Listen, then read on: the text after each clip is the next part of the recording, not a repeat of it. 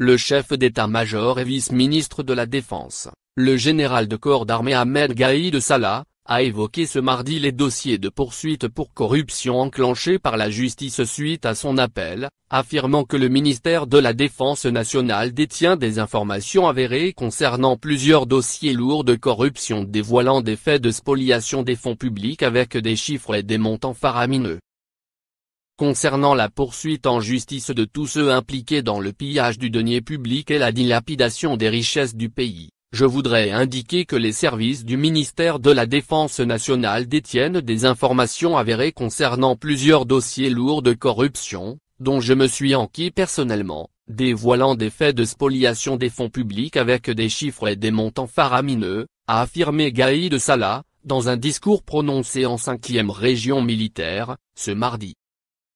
Aussi et partant de notre souci profond de protéger l'économie nationale, les services de sécurité se sont chargés de mettre ces dossiers à la disposition de la justice pour les étudier et enquêter pour poursuivre tous ceux qui y sont impliqués, a indiqué le chef d'état-major. L'armée nationale populaire demeurera vigilante, conformément aux revendications insistantes du peuple et de ce que lui confèrent la Constitution et les lois de la République, assumant sa responsabilité face à l'histoire, a-t-il affirmé en outre, selon un communiqué du MDN. Ahmed Gaïd Salah a également répondu aux critiques formulées dénonçant une instrumentalisation de la justice par le pouvoir, et une opération sélective.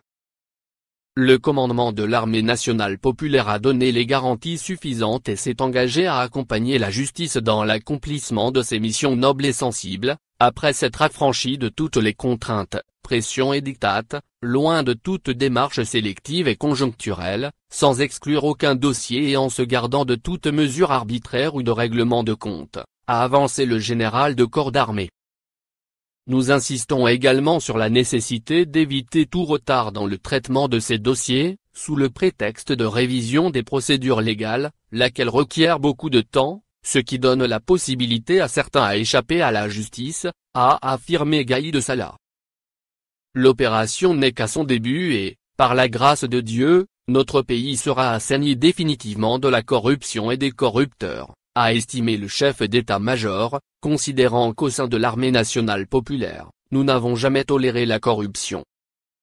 Nous étions même les précurseurs dans ce domaine en présentant de hauts cadres militaires par devant la justice militaire, à savoir les anciens commandants des ANR, 2E et 4 ERM et de la gendarmerie nationale et l'ancien directeur des services financiers, dont l'implication dans des affaires de corruption a été confirmée par des preuves tangibles, a avancé Gaïd Salah. Bye.